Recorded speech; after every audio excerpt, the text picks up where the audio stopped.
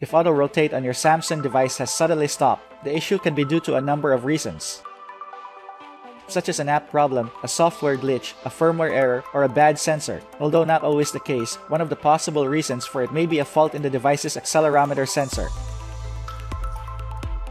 Accelerometer sensor is one of the multiple sensors in a Samsung device and its main function is to tell Android OS whether to put the screen on portrait or landscape mode.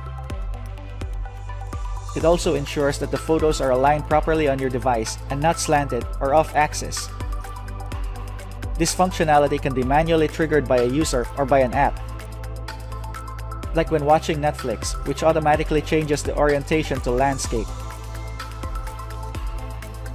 To check if the accelerometer sensor is working properly, you can run a test. Here's how. Open the phone app.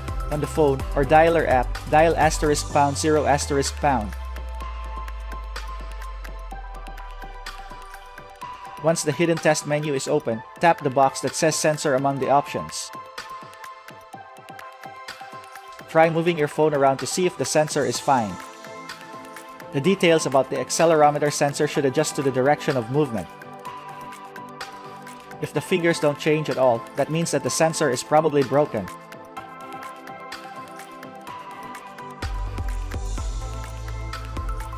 In order to go back to normal mode, just tap on the back button a couple of times. Warning, the Samsung test menu is hidden for a reason.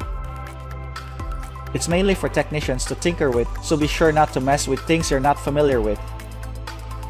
That's it. We hope this video is helpful to you. Please subscribe to know our latest videos in the future.